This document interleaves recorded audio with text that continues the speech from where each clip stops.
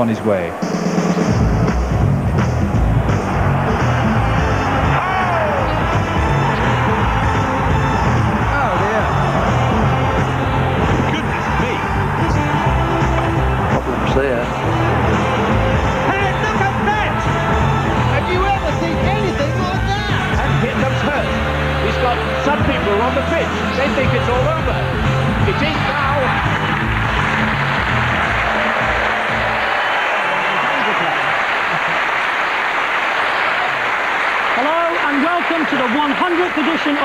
It's All Over.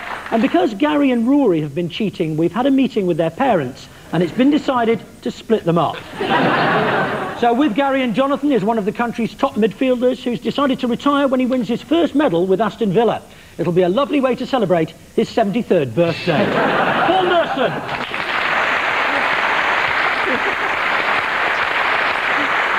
With David and Rory as a former England rugby captain and member of the Menswear Council who says he hates flashily dressed men, which is why we put him opposite Jonathan so we can have a decent run-up.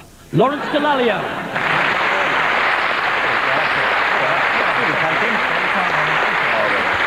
And because we're 100 today, let's just have a look back at that very first show.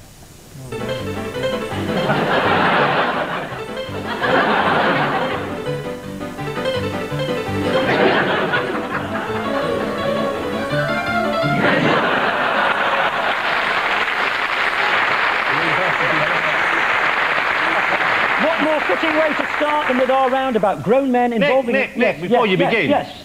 I couldn't let this joyous celebration pass without spreading the good news that we have received a special message from none other than HRH the Queen. You're joking. On the eve of this 100th show, I'd like to read it out to you if I may. Dear lads, congratulations on reaching 100 shows. I think it's great telly and much better than that shite my Edward makes. It's good news for the show, though, isn't it? And great news for David. I mean, it's his first century. Yes.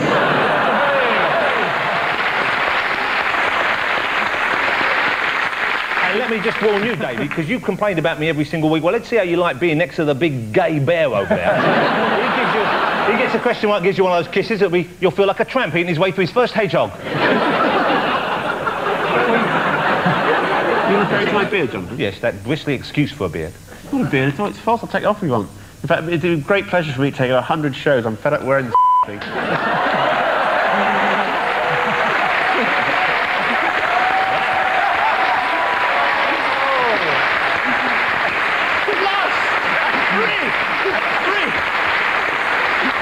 Now, now we know why he grew it. it's handbags. Gary, Jonathan and Paul, your feud is between a couple of people who you talk to every day, Paul, but who don't talk to each other.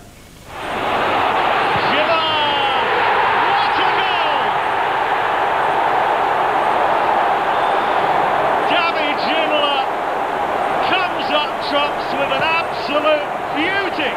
That was Villa's David Ginola, who is now so furious with manager John Gregory that he's even brought in Tony Blair's wife Cherie to help argue his case. But what is the case? Can I just say something, Nick, before, Yeah. before we start? It's just that um, we've all had personal problems, and I think we should just take this time to say how much we admire Paul for that, that television broadcast he gave when, in front of the um, nation's press, he admitted that he'd signed for Middlesbrough.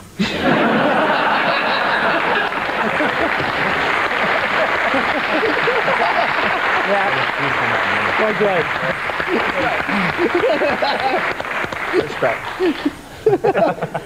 so, Gary's team, what is the spat about? Is he a good laugh, old general? Is he, is he fun? No, is he, he's, he's a very talented player. yeah, is he fun to be around? Is he one of the lads, Paul? Do you hang out with him and you just joke no, all I the time? don't hang yeah. out with him, but he's, he's a nice bloke. He, uh, But he can take a joke, though. mm, Got lovely hair, hasn't he? I bet it's all you boys can do after the match to stop from stroking it. that's what I'm doing there. That's why you're wearing the gloves. He insists, doesn't he? you may touch the hair, but only with the gloves. He's not German. That's my, that's my one voice does all offer. Do you know Cherie then? Cherie Blair. No, I don't say I do. you like the look of her? That's why I stopped drinking because of girls. and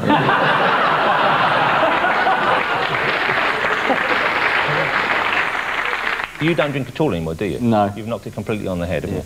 It must be strange for you now you're not drinking to go home and see the two medals on the shelf where you used to see four. I mean, that must be disappointing. Things like that must, they must hurt. You've had a drink tell, haven't you, David? Yeah, I once had a bottle of 61 Mouton Rothschild that was corked.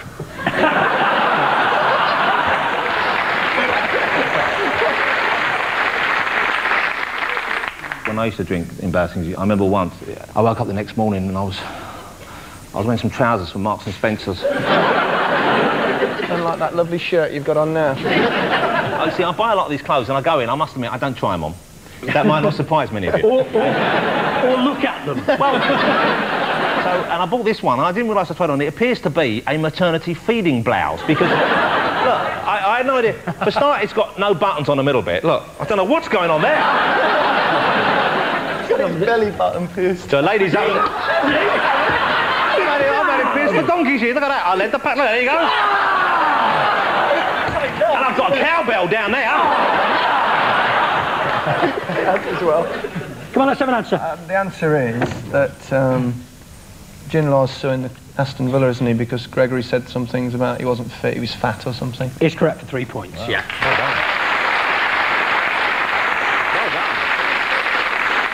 Ginola says he doesn't wear deodorant because women should be attracted to sweat and bristles. Well, it's always worked for Martina Navratilova. David Ginola's full name is David Desire Mark Ginola. By a curious coincidence, Gary Lineker's full name is Gary Desire Mark Lawrence.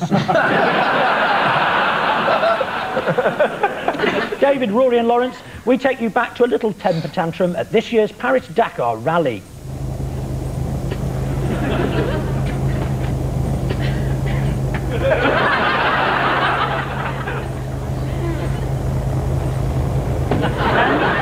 As I'm sure Rory could tell us, that was Pascal Maimont losing his rag. But who or what caused his impromptu impression of Basil Fawlty? I reckon the driver has got uh, Jonathan Ross's radio show in his headphones and he's... Uh,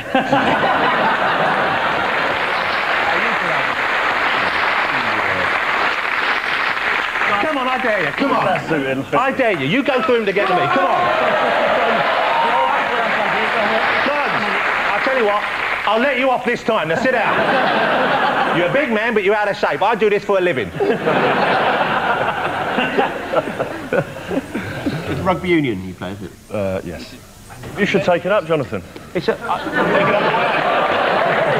you see, that, I think that is asking me out for a date. That is. With Gary and Mark.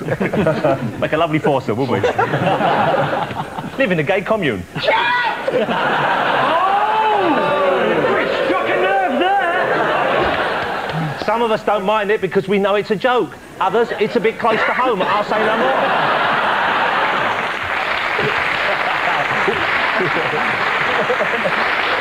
Uh, Lawrence, is it true your nickname is the Italian Stallion?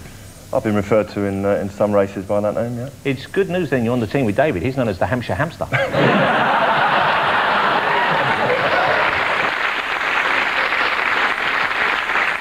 I'm not allowed to say, legally I'm bound not to say, but one of us is known as the Leicester Molester. You do He's annoyed about it. When the driver's annoyed, he's banging his helmet against the car, which actually is something I've done quite a few times. The 100th and last show. There was dust, so someone's obviously going past them. Did they try and sort of um, in, try and get some help off the other? I'll give you three points for that, yes.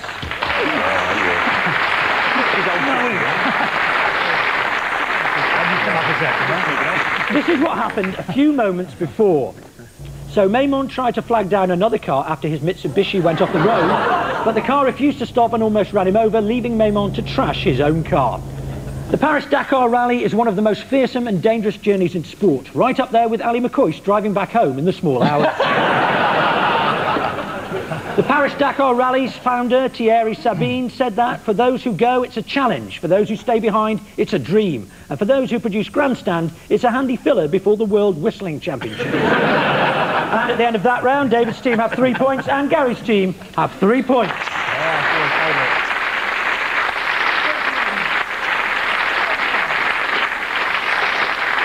Ask what's going on, David's team. Watch this.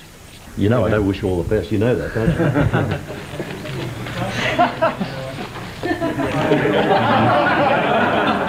So who was that and what was going on? Well, I'd, s- I'd say that was the British Lions, absolutely thrilled to be on the set of Neighbours. Um, Can we just go back, Nick, that last, can you just freeze that last frame again? that's Austin Healey, for those who don't know. And the sign says lose place. That's, that's rather prophetic for Austin, actually, on the Lions tour, lose place. That's, that's exactly what happened the following week. That guy we saw at the beginning it was interesting. It's uh, the bloke shaking hands in the studio. So, uh, I don't know the um, actor, Harold Bishop, Yes. isn't he? Who, interestingly, in the middle of the series, he died, didn't he? But then mysteriously came back to life. Ladies and gentlemen. so, what was the question, Nick? Sorry. Well, Well, Lawrence, Lawrence has actually already given me the answer. well, so we settle for that then? Yes. Well done, Lawrence.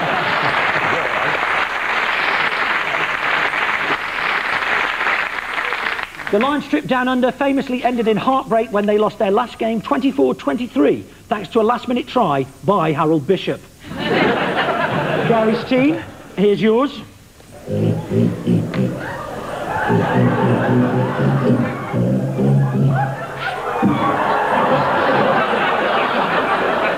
That's obvious. It's Jonathan's wedding night.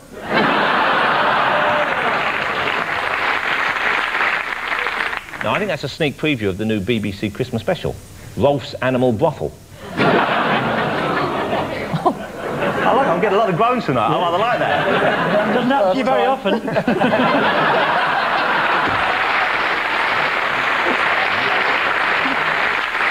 What are we looking at? I forgot now. Oh, it's the old lady, wasn't it? That video you brought. Let's get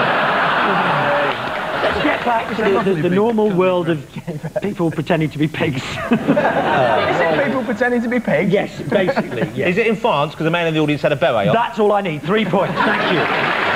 See, we can work together as a team. You saw highlights of the all-French Pourcailhade or pig contest held in the village of Trie-sur-Baïse. Up to a few years ago, it was thought that pigs couldn't sweat. That was until they saw Rory at the sty door with his overalls round his ankles. Every pig grunt means a specific thing. means bring food. means rain approaching. And means Rory's at the sty door with his overalls round his ankles. A pig a pig can run a mile in seven minutes. Unfortunately, Rory can run a mile in six minutes with his overalls round his ankles. And the scores at the end of that round are Gary's team with six points and David's team with six points.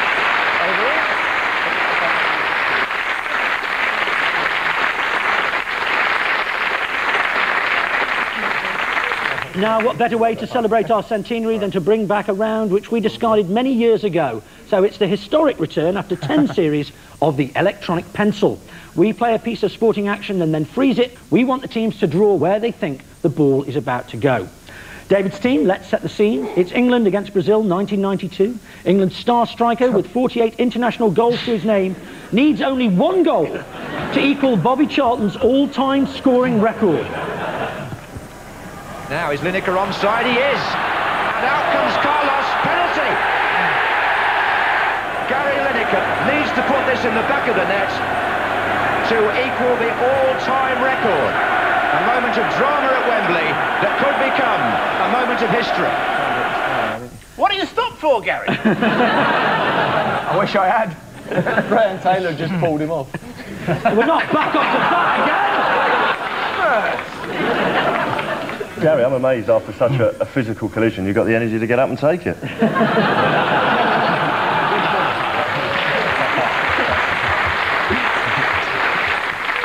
Paul, is that something you would have bet on? I did have a bet. I, think You had a bet on that? Yeah, I had a bet that he wouldn't beat the record. I remember when I had a bet with one of the lads at Arsenal, and then we played Finland away, and I oh. crossed the ball and you missed it. Well, it went behind you, and you went, "You sure you ain't had a bet on me not to do it?" Actually, did it sort of, was about, that was about as much as you could manage, wasn't it? got, got to about there.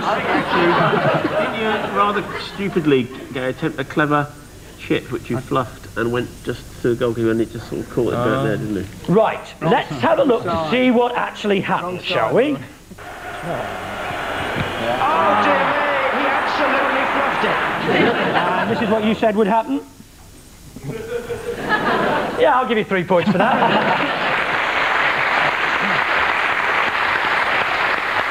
That must have been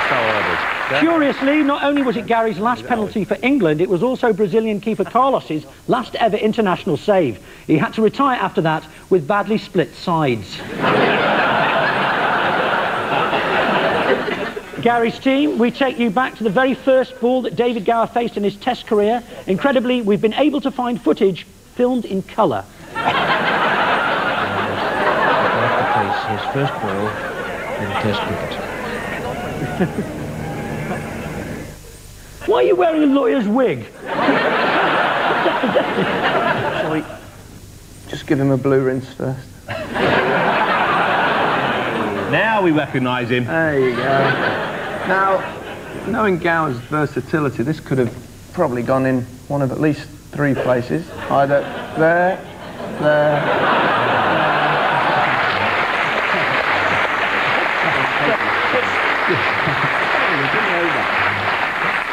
David got distracted by the fact that over here,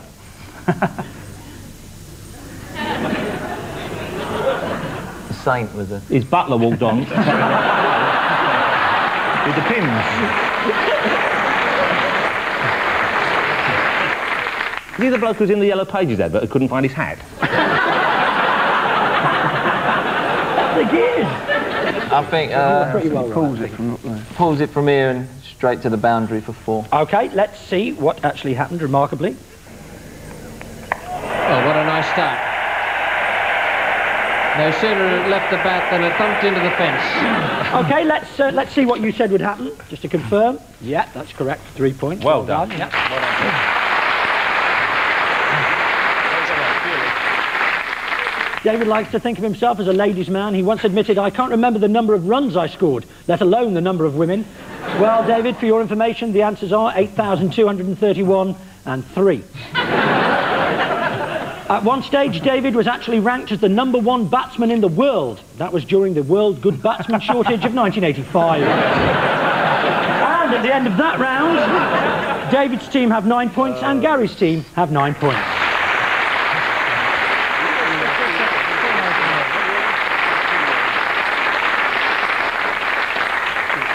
As it has been for the previous 99 shows, it's time for Feel the Sportsman now. Gary and Jonathan oh, first we this week. Yes, a partnership.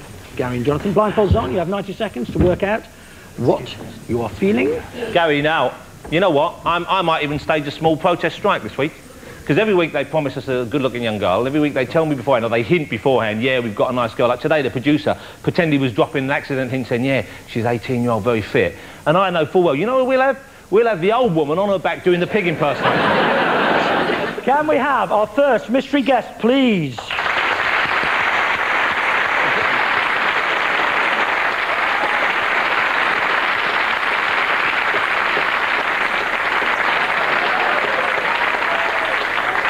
You're on your own. And your time starts now. Believe me, you'll want to join in. See, I told you. Go on, don't worry. I'll do it for you. Enjoy yourself. I don't want to know. Oh, I forgot my blindfold. You stay there, Jonathan. I'm not good going at to. all. Right. What kind of... What is this? Got arms growing out of its legs. Is she wrinkly? I don't know, but she's got a big ring.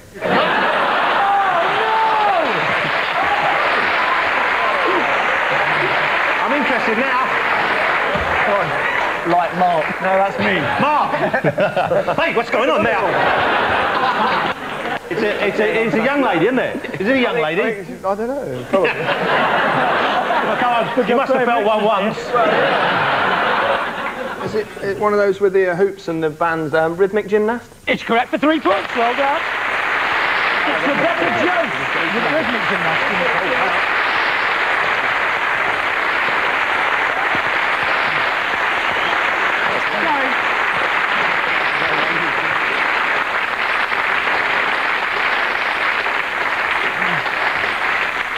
David and Rory, off you go. To your positions. I'd love to.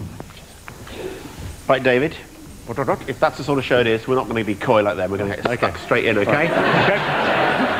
Okay, and can we have our second mystery guest, please?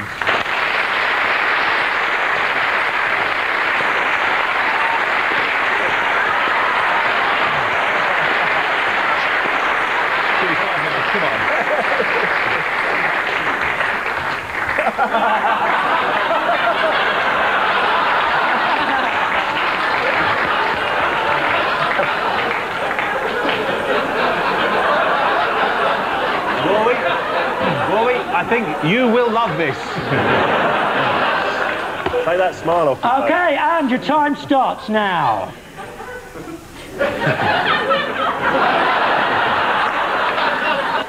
Don't know about you, Rory. I've got something furry down here. I think I have as well, David. It reminds me of a holiday in Wales. I think I've got one of Gary's cotton buds here.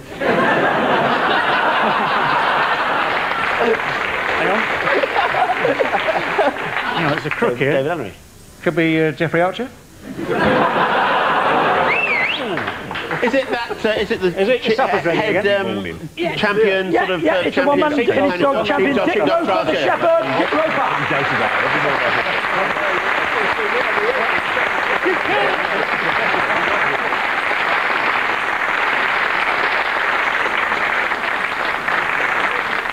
The scores at the end of that round are Gary's team with 12 points and David's team with 12 points. Very, very good time. Oh, yeah. We end, as always, with the name game. This week, all the answers will be the names of people who've appeared on this show, either as guests or on Field of Sportsmen. The team in the lead goes first, which is neither team, so David's team. You can go first alphabetically. Amazing. Lawrence, could you pass that along to Same, Rory, please? 90 seconds to get as many names as you can. Starting from now. Uh, athlete, lunchbox. Christy, Linford. Very good. They haven't rehearsed that. They've got well trained. Oh, uh, golfer, large breasts. Colin Montgomerie. Love rat. I think he did it dirty with a, a royal family member. that fella, yeah. Um, Ali McCoy. Not. Oh, he did, did he? Oh, that's Oh, the- there's a first. No, the other one, James Stewart. James Stewart, yeah. Um, this is, you know those sausagey things, those sort of Sausages.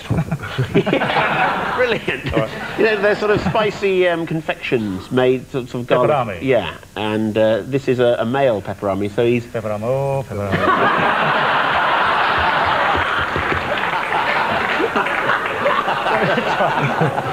Gary. Get back here quick. How did you get Pepperoni. well, Pepperamo. you know, there's Well, Mrs. I- Pepperami, Yeah. and who is standing next to her at her wedding? Hello, try Mrs. it. You try Hello. Mr. Pepper. I can't. What do you put on bread? Butter. Butter. Yeah. And David, you are a has. Butterbean. isn't Bean. it? Bi- yeah. this is uh, someone who.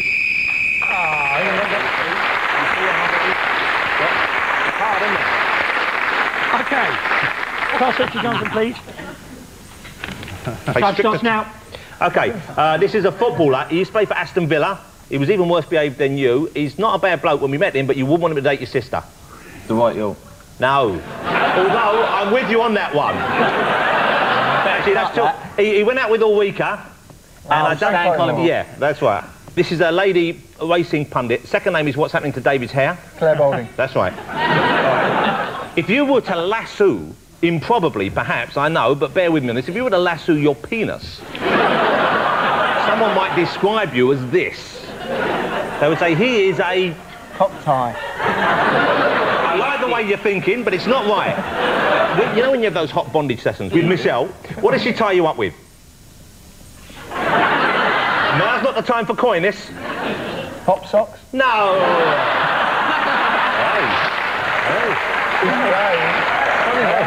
It's all coming out now. Down at Lineker Mansions. A length of what? Rope. Rope, okay. And uh, another name for your cock. Dick. Dick Roper. Dick Roper. Is this bloke's a wrestler and you wouldn't want to find a needle in him? Haystack, Yeah, yeah, thank you. All right, you, we had him on the floor the other week. He was a big animal. You very nearly shat yourself, if you don't mind me saying so. Alligator. He was, if, if you're not an adult and you're not a child, but you're even younger, you are a... Juvenile. Yes, maybe. But really small, going, Mama, Mama. Baby. A baby. His name was Baby, believe it or not. All right, this is, uh, he used to cricket.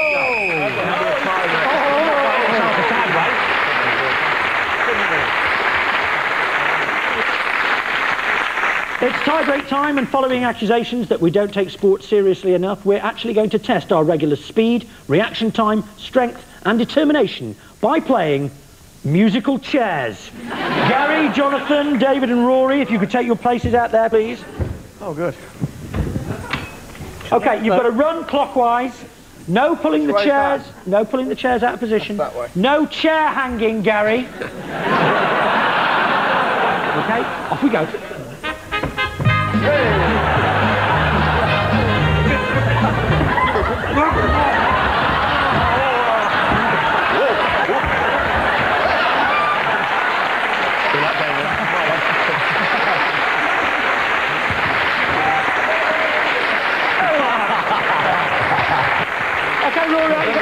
there was, there was a little bit of infringement on the rules there. I'll let it go. No moving the chairs in future, thank you. Shall we take one away? One will be two taken chairs. away for you by the taking chair away man. Off we go. Toe, Gary.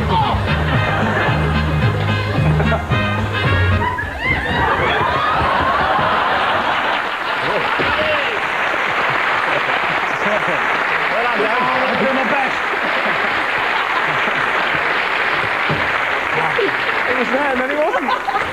It looks like you can move the chair then. and Gary, that's about to take a little stumble there. Were you after a free kick on the way down? It's a foul! Couldn't help himself. T- terrifying as it is, this for me is a fantastic night out. I've enjoyed myself so much in years. We play every week. Final, come on. When's half time? Hey, next week I'll bring in Twister. This is the big one. Come on. Everyone can play. Good luck, David. May the youngest man win. Do it. Go. Stop, you'll just get away, will you?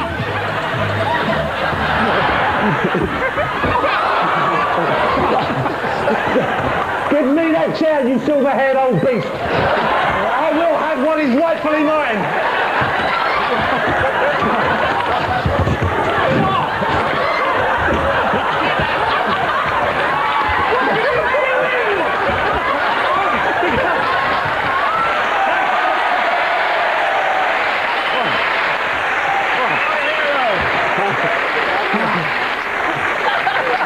Today, Gower. Tomorrow, Osama bin Laden. Okay, so this week's winner is Gary's team. Bloody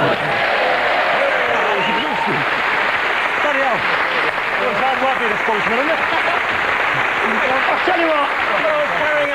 Oh. I would love, I would love to have seen the headlines: two dead in musical chairs.